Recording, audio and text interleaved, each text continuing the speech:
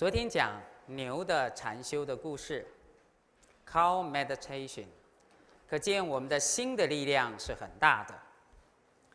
我们的心的力量若不控制也不训练的话，你很容易去造无量的恶业。但是，假如你的心好好的训练学习佛法，你的心可以成就无上的佛道。释迦牟尼佛过去是在因地里有无量劫的轮回。事实上，最后他成佛了。他成佛跟我们不一样的在哪里呢？就是他有菩提心，他生生世世行菩萨道，所以他今天成佛了。可是呢，我们却生生世世都在这边轮回受苦。当然有很多的因缘，但最重要的是心不同，所以心要常常的训练。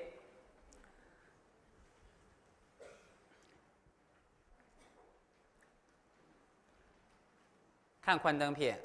假如你训练能够看自己的念头，这个待会今天还会再练习一次。我昨天因为时间的关系，这个主题我还没有讲完，我讲一个段落，我们再回来《法华经》。所以你要练着看着自己自己的念头，念头有好也有坏，但是你不用管它，因为念头本身也是了不可得的。因为你执着它，所以你就会跟着它跑。接下来第四个练习，看你最强的执着。有些人执着是什么？爱面子，死要面子；有些人很固执，有些人嘴皮很硬，有些人很得理不饶人，有人放不下自己的妻子儿女，有人呢放不下呢自己的孙子。有人放不下自己的财产、工作或种种的，所以前两天有问你在睡觉之前，你静坐一下，你最强的执着是什么？来，我调查一下，最放不下你的老公跟老婆的，不管他是帅哥美女的，请举手。哎，有些人很诚实，没有吗？你们都放下，那该剃头了。今天晚上不要回家，通通在这边剃头吧。那表示你假的啦，不要假假的。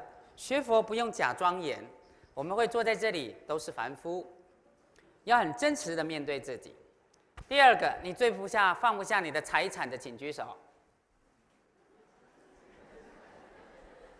好，谢谢他很诚实，不过小心你不要被人家绑架。好，你最放不下的是你的儿子或女儿或孙子的，请举手。哎呀，越来越多啦！终于知道什么叫做六道轮回了吗？人之常情，没有错。好，手放下，表示各位呢都很诚实，也很勇敢。这个很好，学佛不用去骗自己，要很真诚的接受自己优点跟缺点，你这样知道才知道怎么用功。好，放不下亲人的，我要提醒你，拜观世音菩萨，拜阿弥陀佛，拜地藏菩萨，拜所有诸佛菩萨，哪一个都可以。希望发心度了你的家人成为佛教徒，家人是最难度的。今天啊，我今天会客了一整天，十个问题里面有六个问题也都是呢跟家人有关。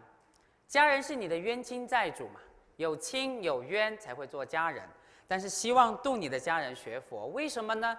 假如你的家人不学佛，临命终的时候，你就会很痛苦，然后他会用很多错误的方法来帮助你，帮你换衣服，帮你洗脸，帮你打扮。其实从佛法的角度来讲，这个对你不太好。第二个，若你家人没有学佛的话，你临命终的时候啊，最好离他们远一点吧，免得他一哭一闹，妈爸，那你就断气了。所以执着家人是很难的，所以你要关怀你的家人，对他慈悲，但是却不要执着。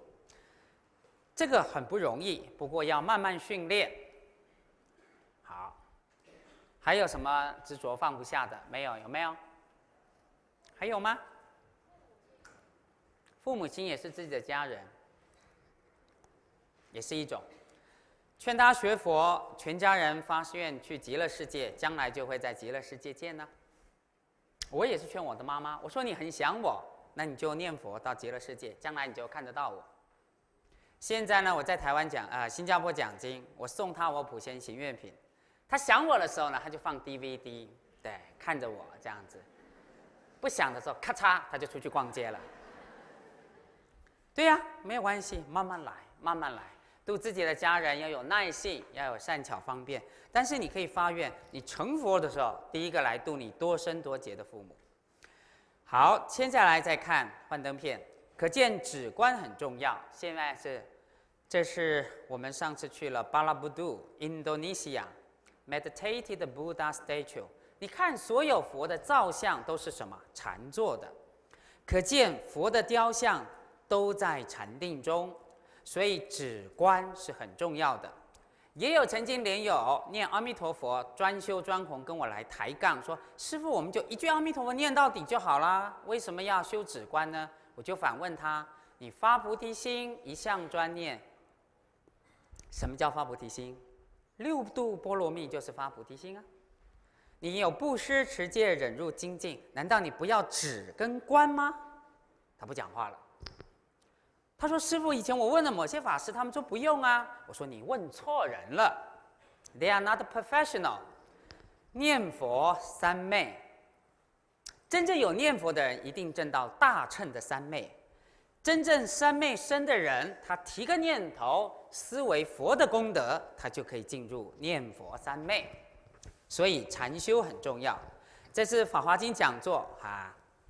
虽然有些莲友问了很多问题，但是我会先答有关的问题。其他的莲友稍安勿躁，先让我把经文给讲完，因为有很多问题都是你在后面听完经的时候，你的问题就解决了。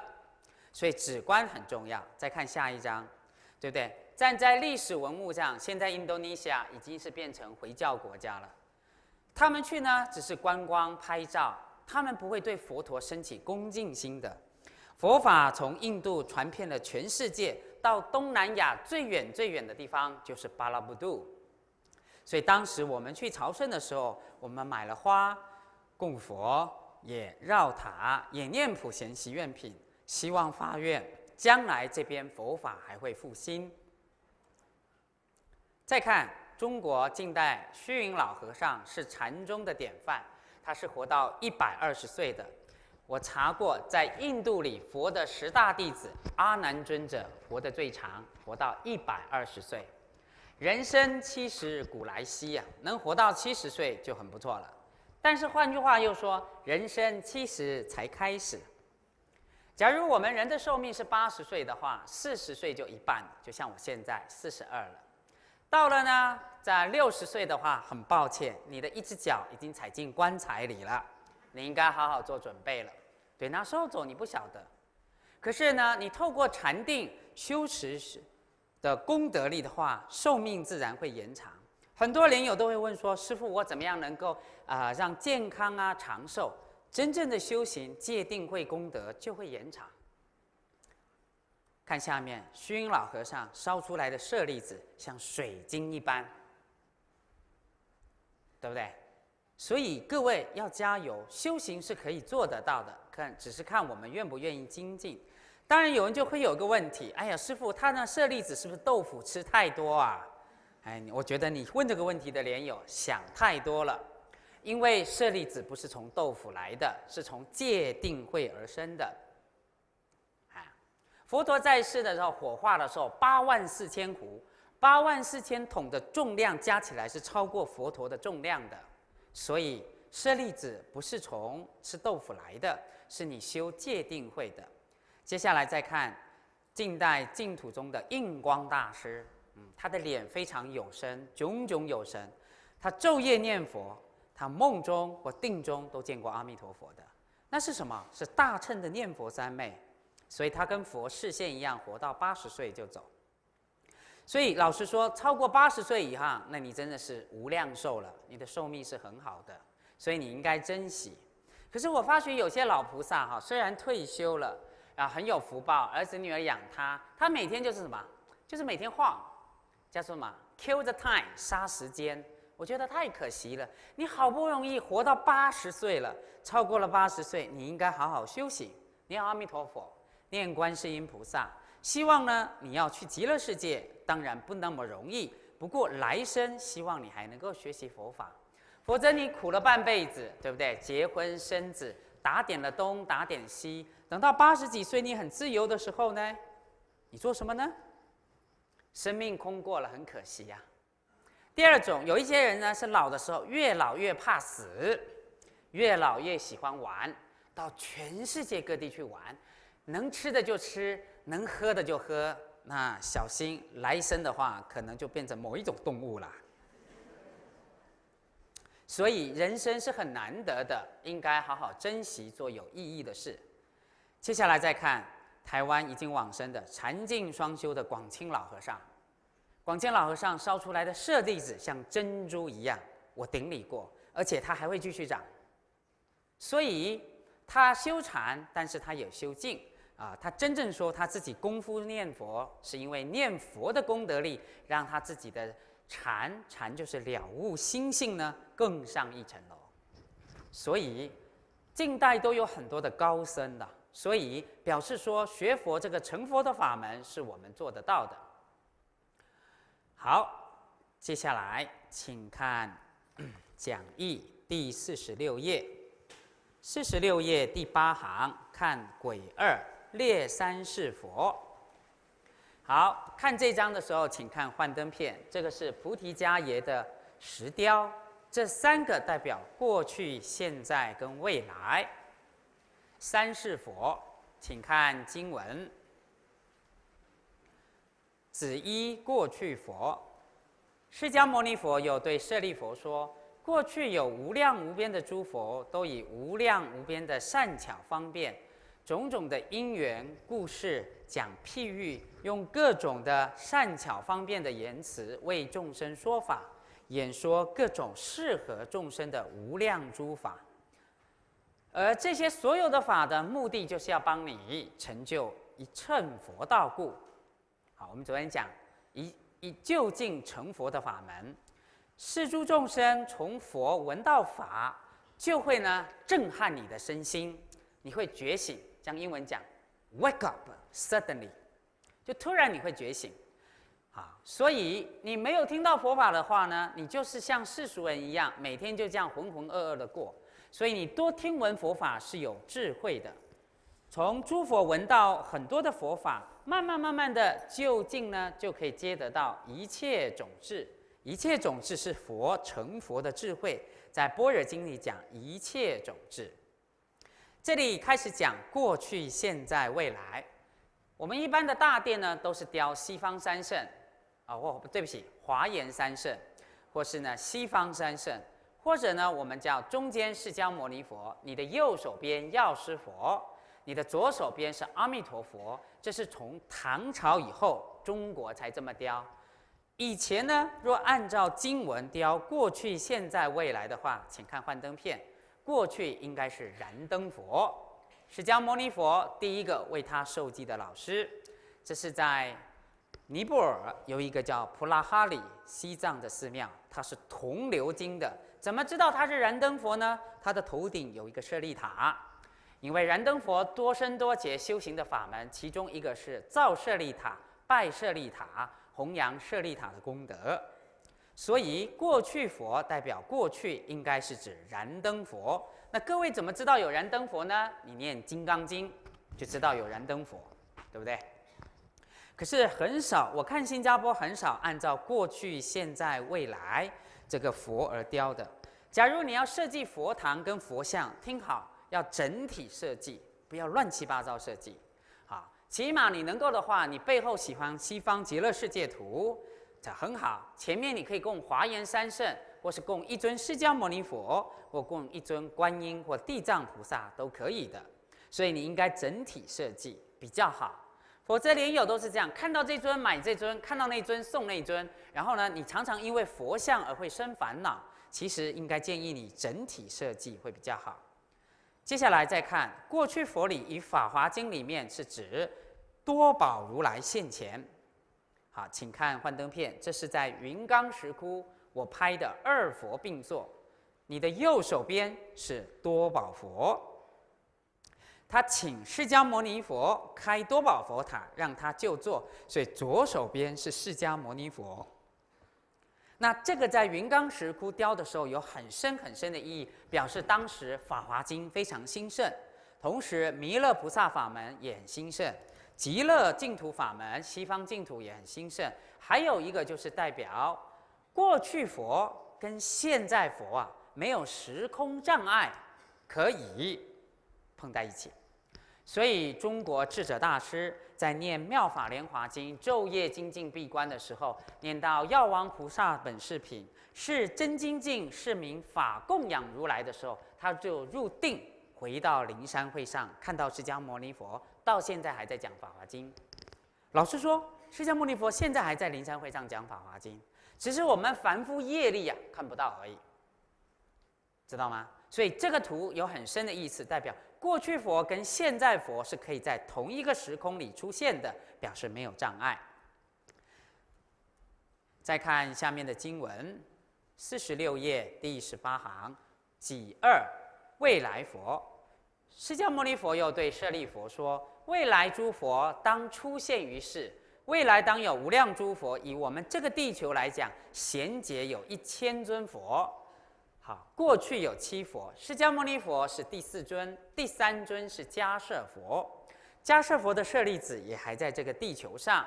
嗯，因为在佛经里面有写，有一天佛陀呢经过一个地方，突然呢他对地上顶礼，他说这里面有有一个古老的佛塔，然后请弟子把它挖出来，里面是迦摄佛的舍利子。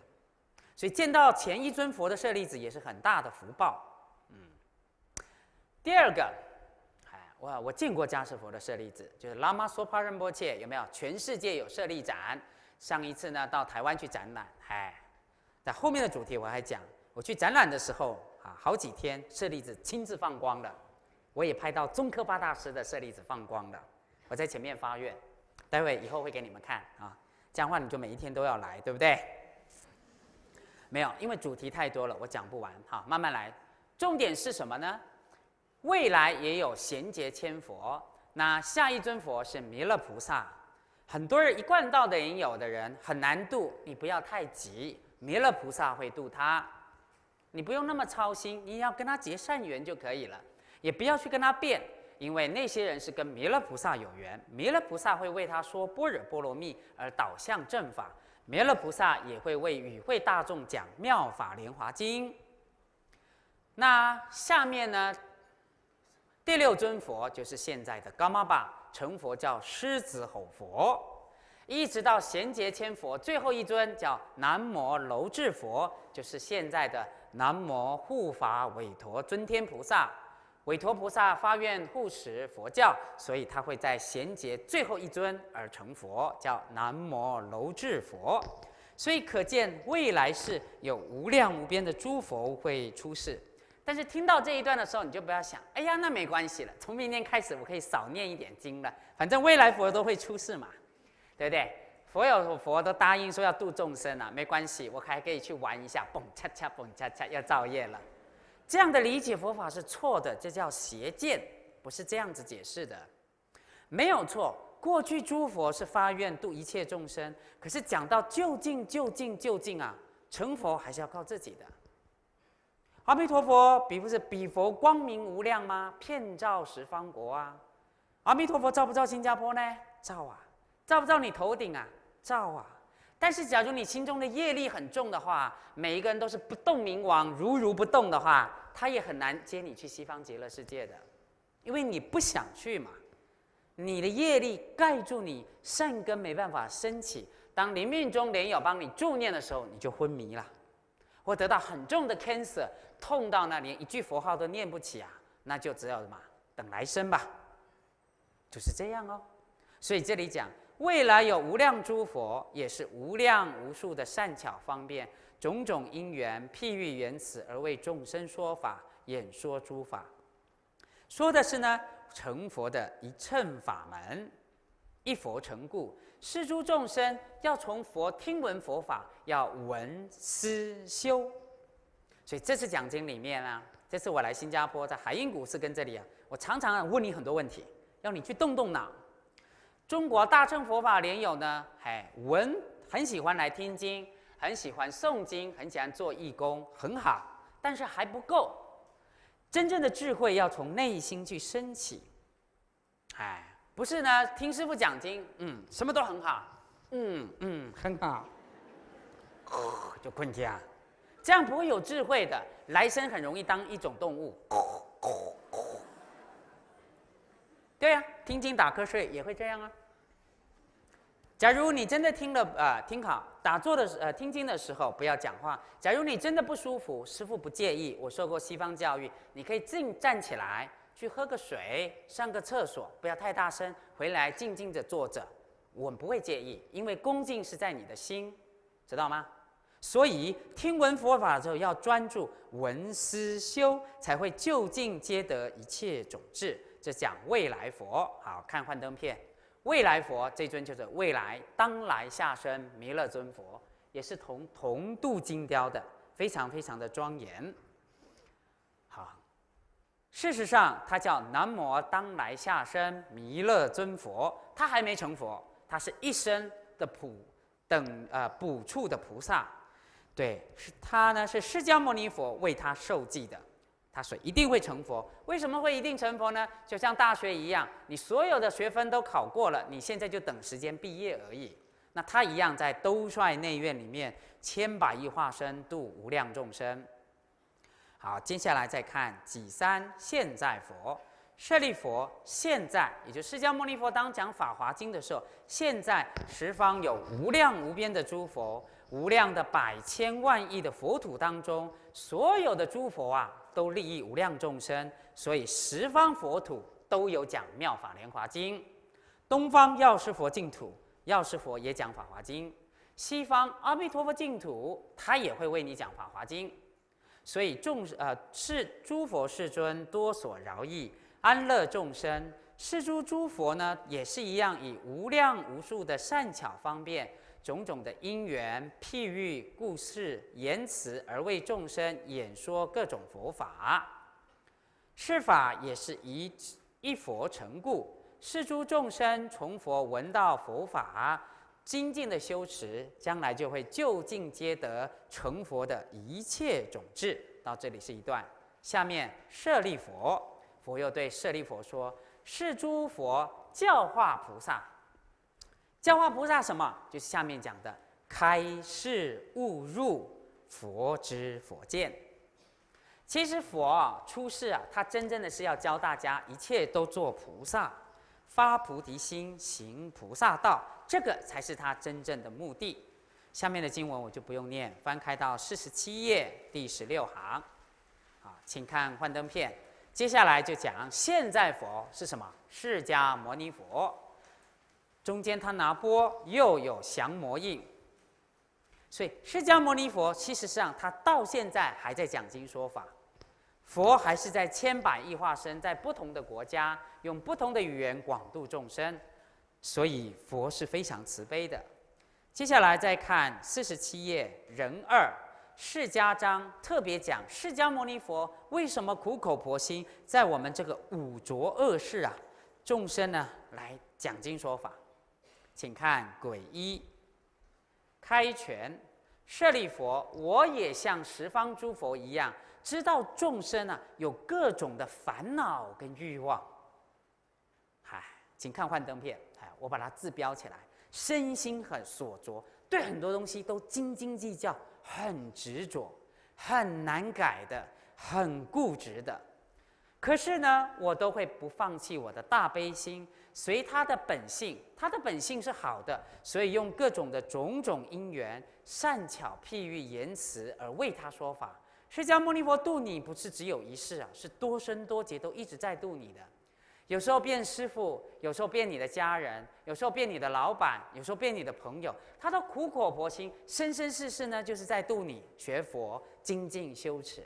可是我们都忘了，阿弥陀佛也是如此。那你哪时候会知道呢？到了极乐世界神通现前的时候，一看，哎呀，这么多事啊！原来有一次是我老婆啊，是阿弥陀佛或观世音菩萨化身来的；有一次呢，我的师傅啊，竟然是阿弥陀佛来度我的。那时候啊，你会升起啊痛哭流涕的心，才知道说佛生生世世都没有放弃我。这是为什么极乐世界阿弥陀佛要让所有众生都神通现前？一上报四重恩，你会看到佛生生世世千百亿化身，在家出家，因以何身得度者，既现何身而为说法，他都在度你，可是你都不知道。第二个，你会升起大悲心，就是说，你会看到地狱恶鬼出生，你的很多的爸爸、兄弟姐妹，乃至于你自己啊，生生世世都在轮回里面受苦。那时候你可能看到你的爸爸妈妈在刀山剑树油锅，然后你会流眼泪。然后你会发大悲心，千百亿化身去度他。所以神通真正的目的是要上报佛恩，下度一切众生。神通不是让你去现着玩的。我记得我多年前在台北有一个道场，请我去讲四十八大愿，很多年前了，大概十五年前，有一个护法居士，他非常庄严，也很有善根，但是他就很执着，很喜欢神通。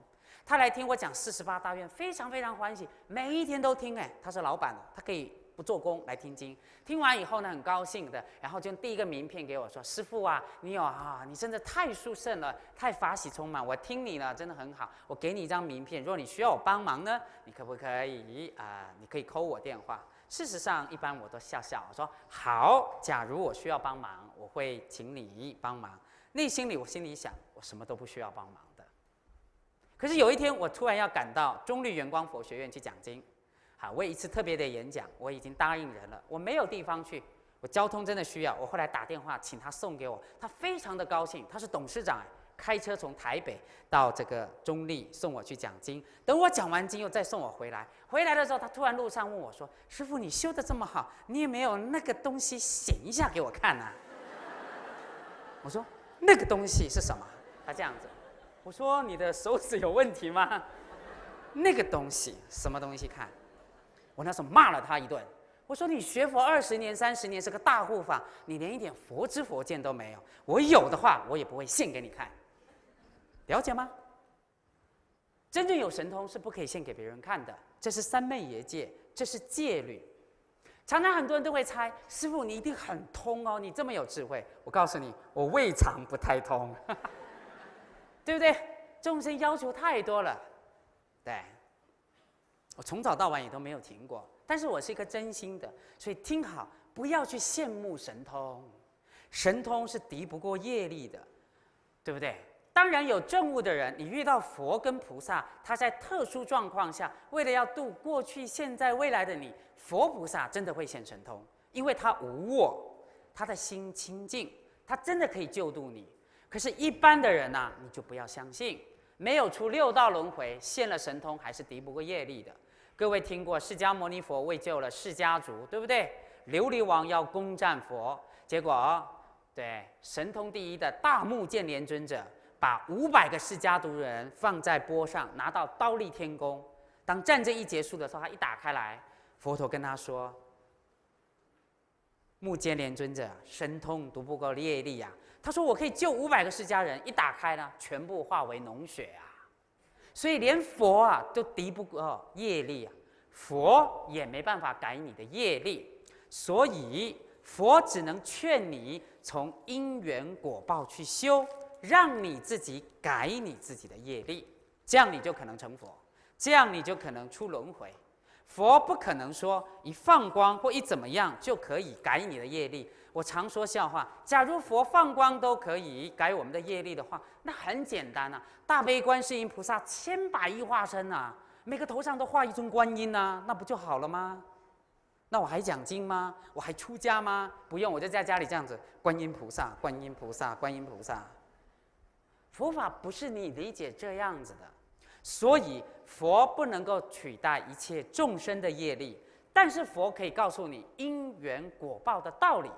叫你去忏悔，叫你修福修慧，最后你就会转你的业力，了解吗？这边回答一个问题：师傅本人在医院里做义工，有人跟我说，一个人生病是他的业报生，我去帮助他减轻他的苦，会背他的因果吗？答案是不会的，要有智慧。你能够背他因果的话，我告诉你，佛菩萨都背我们的因果啦。所以讲这个话的莲友，你很真心。不过你的那个朋友没什么佛知佛见，很抱歉，我必须这么说。假如我们去看人家会背人家因果，那我你，谁敢去看别人呐？动动脑筋。慈济功德会讲八种福田，第一看病第一啊。举个例子，各位，假如我们现在在佛教青年弘法堂共修，认识很多莲友，我们修一下自掏交换。假如你现在生病了，得了癌症要走了，你到医院没有一个人有来看你，你感觉什么啊？你会不会感觉很凄凉跟悲哀呀？这些佛教徒都跑去哪里呀？我平常这么关心他们，怎么都没有人来看我？诶，大家怕你传染吗？你说：“哎呀，师傅他已经得了癌症哎，我进去以后是不是也会还还癌症呢？”答案有两个结果，一个是绝对不会，第二个，假如不是不信你会的话，那你就跟他一起往生净土，不是更好吗？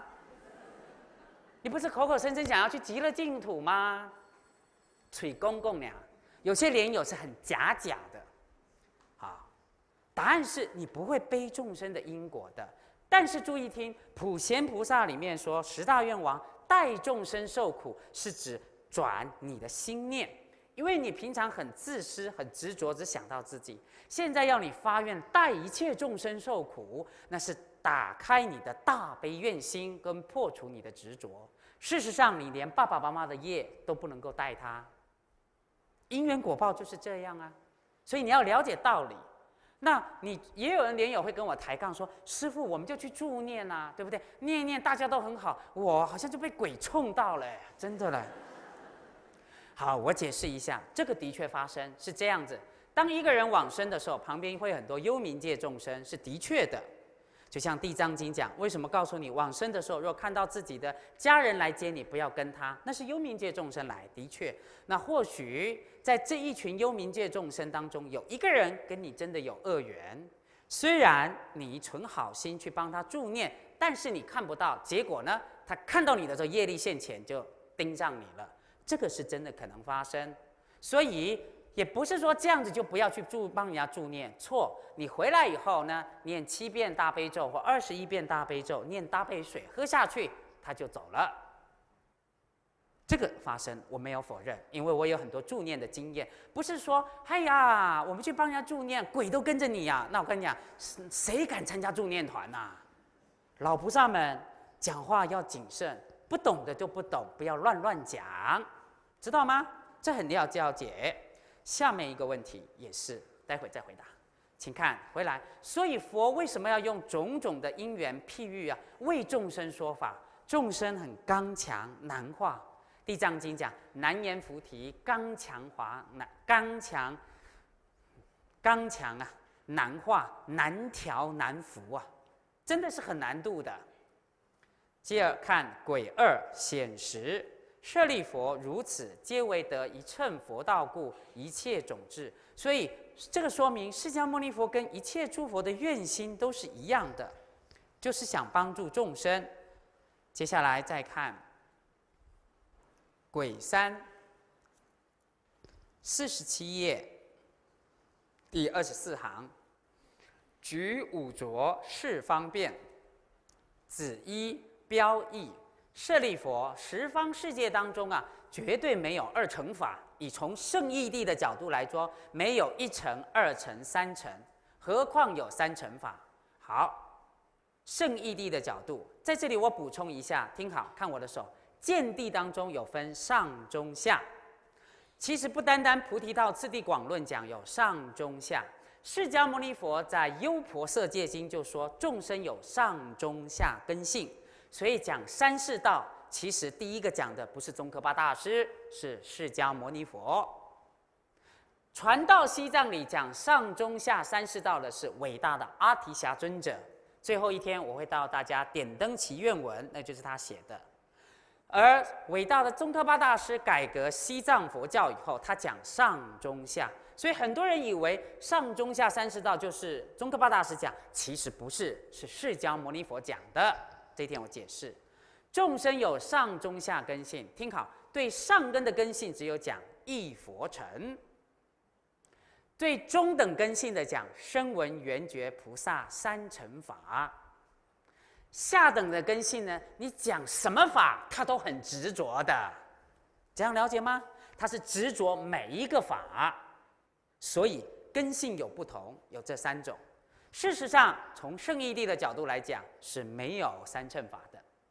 但是众生不是一下子都能够成就无上佛道，所以只好靠高你先人天乘，比如说修地藏经，对不对？你家人起码不堕三恶道，到天上或人间继续修行啊。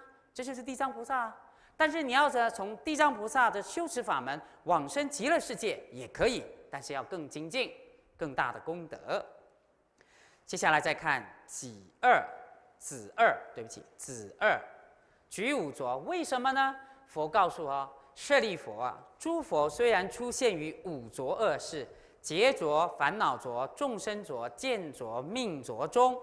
这个我不解释了，因为各位都诵过《阿弥陀经》，这五浊恶世大家都很清楚。好，翻过来，子三，子三，看四十八页第二行，如是舍利佛啊，劫浊乱时啊，众生够重。好看幻灯片，众生的烦恼啊，非常的重，造了很多的恶业，伤害了很多的众生。恶业就是嘛，杀盗淫妄酒，造了很多。不为人知，也见不得呢。很多的恶业，心呢烦恼很重，吝啬、兼贪，看到别人比我们好，我们就嫉妒。成就呢，成就呢，也就是说，造成了很多各种诸不善根故。举一个例子，假如一个美女进来了，各位的反应是什么？每个人反应不同，心不同。出家人假如他修白骨观的话，那再美的美女呢，都是白骨头。可是呢，男人看到的话，哎呀，美女，心脏就开始跳，噗噗噗噗噗噗噗噗就开始跳了。可能呢，听经呢都听不下去了，对不对？女人呢，哎呀，她怎么可以比我更美呢？嫉妒心升起了，知道吗？然后就开始注意看，哦，原来她是这么 fashionable，是这么打扮的，穿 Gucci 名牌。好，明天我来听经的时候，我最漂亮了，就这样走进来了。这就是什么烦恼、嫉妒心升起。可是我们众生呢，不太承认自己，知道吗？我们很不愿意去接受丑陋的自己。可是呢，我们又假假的，所以我们就生生世世在六道轮回玩假假的轮回游戏了。释迦牟尼佛讲，为什么众生会很苦？你造的恶业是从你的业与烦恼来的。业有过去的业。也有现在的业，业大部分有过去的多，现在的叫习气。你的烦恼贪嗔痴，所以我们学佛，你说要来听经闻法共修，学什么？所有的东西讲一个字，就是呢，清净波罗蜜，让你的心啊，能够能够清净一点，你能够控制自己的习气，你能够让你的心更柔软一点。你的心若不能控制的话，三千大千世界所有的东西啊都没有用的。当国王、当总统，最后什么东西都带不走的，这是真话。可是世俗人他不听佛法的，他还是为了这些呢东西去争名夺利、去抢的，对不对？所以你看，我刚刚举一个女一个人进来，你看每一个人的反应心就会不一样。为什么？我们的烦恼很出众。但是你若听闻佛法的话，一个美女进来，或一个观世音菩萨来，或一个阿弥陀佛来，你的心都一样的清净的。你知道所有东西都是缘起性空的，了解吗？都是空性的，没什么好执着的。这样子的话，你才能够真正的控制你的心。你这样的话，你修行的功夫才会增加。下下面再说，所以诸佛以各种善巧方便、多生多劫、苦口婆心的对一乘的佛法，只好讲三乘法，先满你的愿。你要求消灾免难，观世音菩萨就满你的愿；你要求健康长寿，药师佛就满你的愿；你要发财，很多佛菩萨就满你的愿。为什么？因为不满你的愿，你就不来学佛啦。你就会告诉人家：哈，佛教是假的，没有因果。我求了半天了，这个佛菩萨都没有现，对不对？我要中马票呢，中一次呢都没中，对不对？其实会中马票也是你的福报。不会中的话就是不会中，还有跟人，还有也有更好笑，去拜观世音菩萨，说：“观世音菩萨大慈大悲，你有求不应，我只求一次就好，给我中第一特奖，我一半供养你。”我要是观世音菩萨会讲话，一定先打你一顿。你以为观世音菩萨什么贿赂吗？观音菩萨千金庄严累劫修，他还要你马票供养他一半呐。讲这些话的人脑筋要想一想。听起来是很多的笑话的感觉，可是我们凡夫的心都是什么？奸贪、嫉妒，造了很多很多的不善根故，所以你会受苦。接下来再看鬼四，四十八页第十七行，见尾敦信一时，简尾敦信一时，看一下英文，examining seriously the false situation。And then figure out the good and true example of the strong devotion disciple one mindfully。英文的意思是说，one mindfully 是一心一意，然后呢，他有强烈的这个信心，然后呢，很严肃的来检查这个错误，检敦，检伪，伪的叫做 false situation，错的情况。还有 figure out the good and the true example，就能够知道什么是好的，而且是真实的好的榜样，这样子叫做简伪敦信一时，真的很难懂啊！这是 classical Chinese。好，接下来看什么己一，简真伪分二，丑一若不闻不知，非真佛子。释迦牟尼佛对舍利佛说。若我的圣弟子当中有人认为自己证到了阿罗汉或辟支佛，可是呢，却不想听闻，也不想知道诸佛如来但教化菩萨的事情，很抱歉，佛讲了很重很重的话，这个绝对不是我的好弟子，也没有证到阿罗汉，也没有证到辟支佛。这句话是很重很重的话，听好，是反省自己的话。不是骂别人的话，不要听完《法华经》呢，就用我星孔法师的话来故意来问呢。师傅，你修不修《法华经》啊？你呢，非佛弟子，非阿罗汉，非辟支佛，不可以。这样你要忏悔。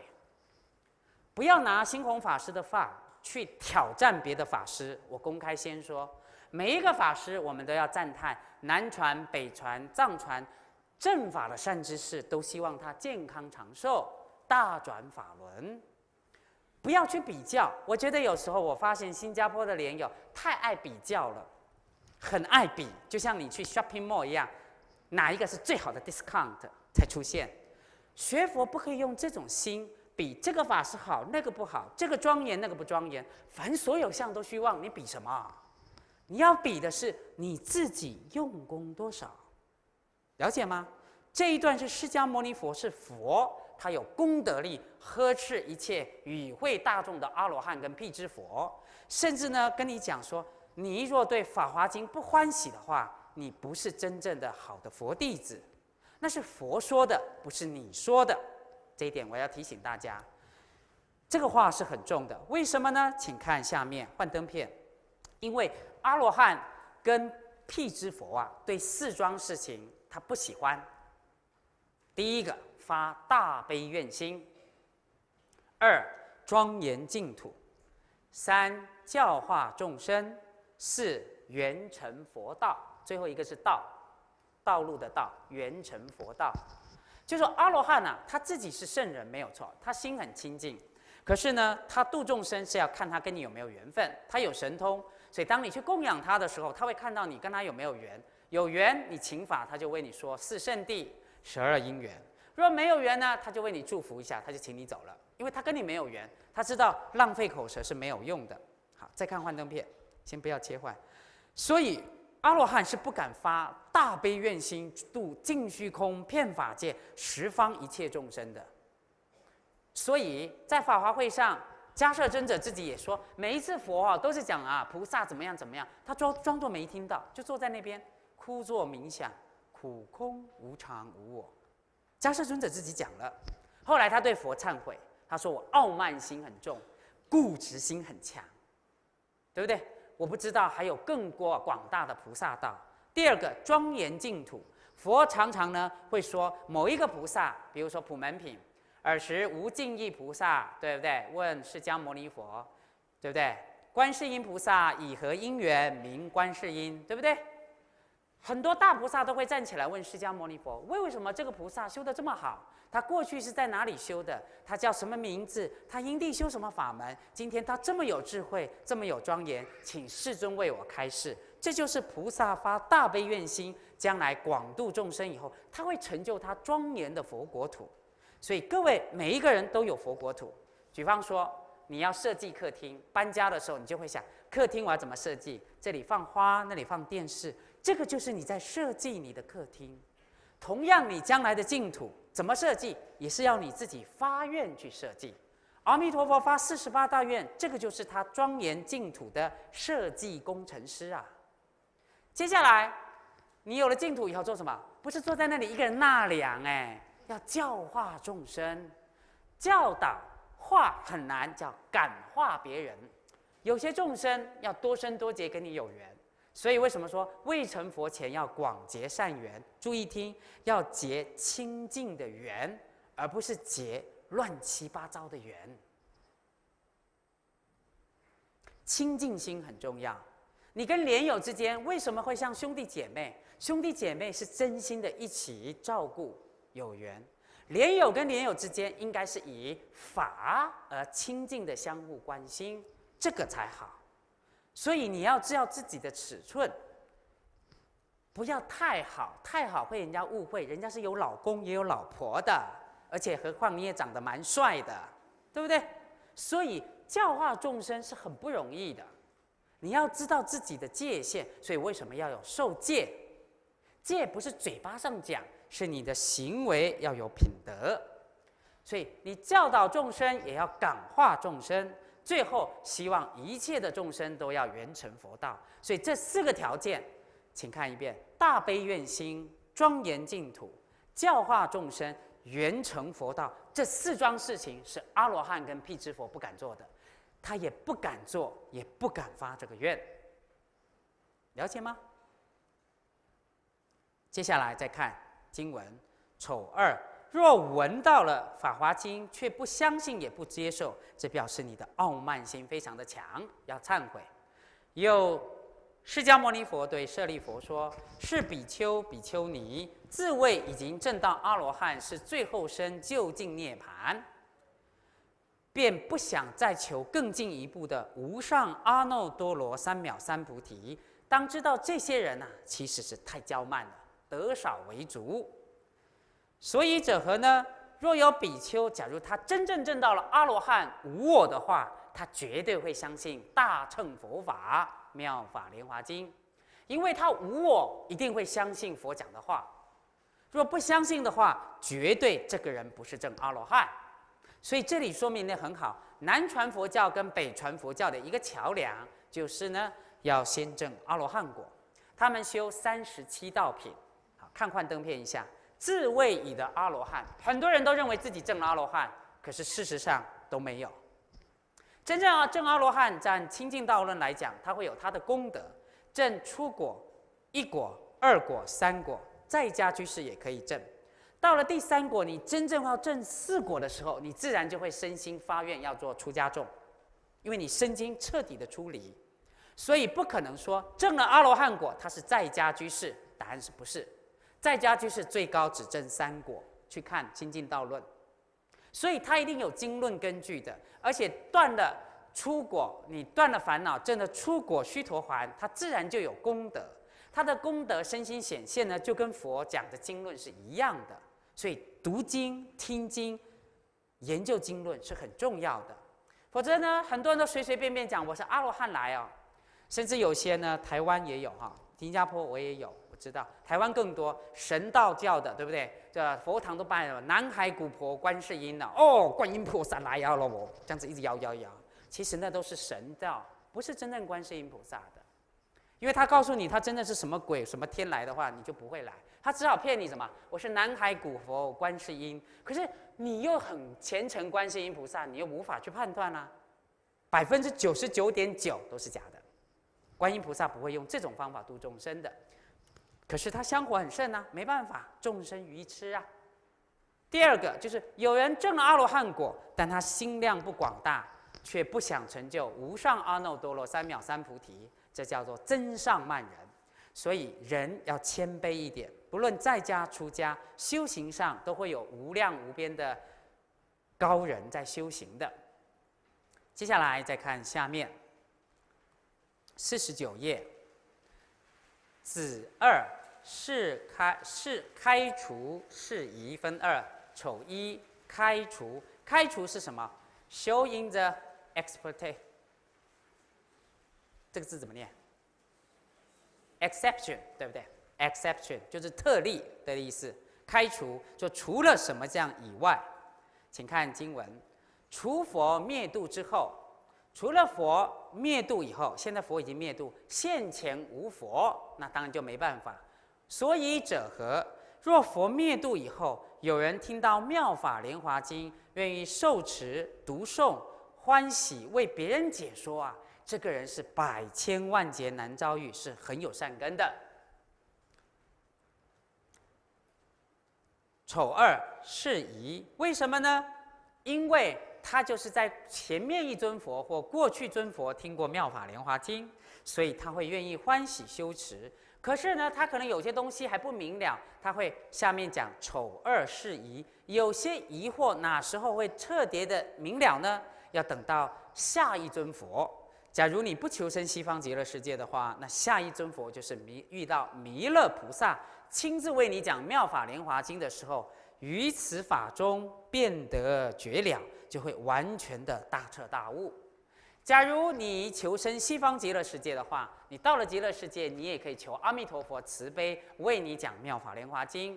你在这一生精进修《妙法莲华经》，发愿回向求生极乐世界，因为《妙法莲华经》的功德力。你修持的功德力，你会比别人更快一点的上品上升。在这里解释一个问题，看这里，我有两只手。我知道新加坡的莲友都很喜欢求生极乐世界，很好，我也喜欢求生极乐世界，所以我们有共同的愿望跟目标。可是我发觉有些莲友啊都是这样，很认真的念佛是很好，但是没有重视检查自己有没有菩提心。没有菩提心是去不了极乐世界的。你要真正发起菩提心，为了度一切的众生而成佛，就算你不懂的事，你不没有念过书，你还是可以去极乐世界。但是你是心是真的不是自私自利的说，哎呀，我自己去就好了，管他的，人鬼很苦。你这个心不是菩提心，你是要真正的为了利益一切众生成佛，我去极乐世界参选。好。大家都说往生很殊胜，哎呀，那又烧出舍利子，这有净土中感应录。其实这个还是不就近的。告诉你真话，不要不高兴。就算在座有净中学会的莲友，我也不怕。为什么？你讲往生往生，比如说你现在先往生了，有人说，哎呀，我下品下生就好了，对不对？心量不要那么小，大一点，上中下三辈。我可以告诉你，除非你造了重罪，做忏悔，才会下辈往生。在座各位莲友，你若好好用功，真的往生极乐世界，大部分都是中辈往生跟上辈往生的。但是往生听好，三辈九品啊，它只是分啊分类而已。事实上，西方极乐世界呢，是依你的烦恼的轻重以及戒定慧的功德，是有无量无边的品位的。我们大家说说往生很殊胜，往生殊胜。举一个例子啊，看这里，现在有一个莲友他往生了，可是你现在在这边利益众生，你念般若经，你念法华经、华严经，你去了比他慢，可是佛一讲经的时候，你是先比他上品上升的，了解吗？所以读其他的经论也能往生极乐世界，不要去排斥。你若欢喜读无量寿经很好，但不要执着无量寿经。毁谤其他的经论，你会去不了极乐世界的。我亲口真的跟你讲，《阿弥陀佛》里面讲，唯除忤逆，诽谤正法。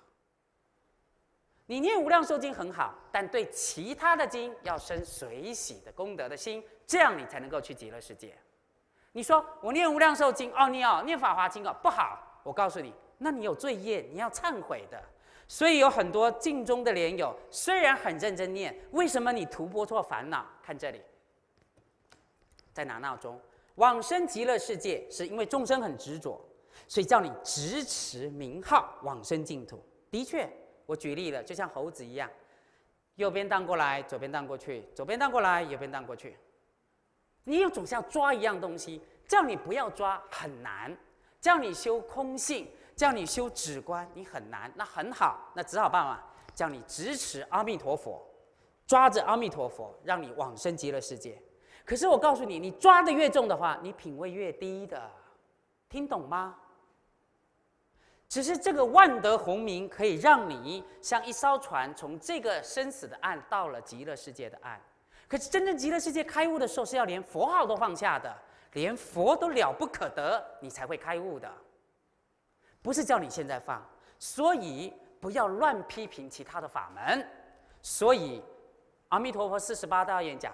去极乐世界，所有人都欢迎，只有两种人：唯除忤逆以及毁谤正法。可是有些莲友虽然念佛很精进，没有智慧，毁谤其他的正法，在临命中的时候，业力现前的时候，你等阿弥陀佛，阿弥陀佛是不会现前的，因为你谤了正法，你自己不知道，要忏悔。这一点要了解，所以希望念佛的人，不管你是专修专弘、正住专修，或是修其他的法门，所有的回向都可以去极乐世界。这一点，希望你好好想一想我讲的这一段话。接下来再看下面，归五四十九页第十三行，名无虚妄。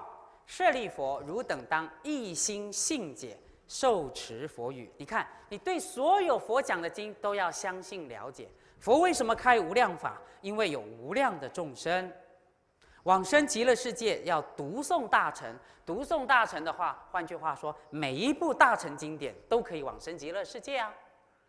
当然，你念无量寿经是很好，但是不要让只有无量寿经，其他的就不能去。那这样的想法不太正确。所以你一当一心信解受持佛语，诸佛如来言无虚妄，佛绝对不会打妄语，因为佛已经成佛，他因地里面呢是口业清净的。事实上讲一乘、二乘、三乘呢，二乘法跟三乘法是方便说，事实上无有余尘呐，唯有一佛尘。接下来再看根二寄送分二。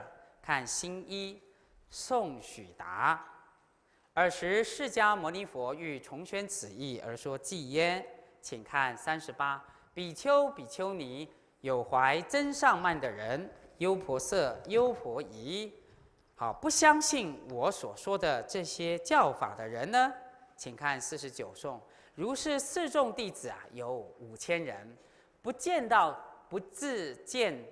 不自见其过，就看不到自己真的有过失，因为他太骄慢了，所以对于戒法有所缺漏，因此事实护习其瑕疵，是小智已出。就是说，因为他有过失，对界定会有缺漏，他不圆满，所以他总是要保护自己，然后掩盖自己的瑕疵。这个是啊。很小的智慧，根本是没有智慧。这样的人呢，已经离开了，就是与会大众五千人。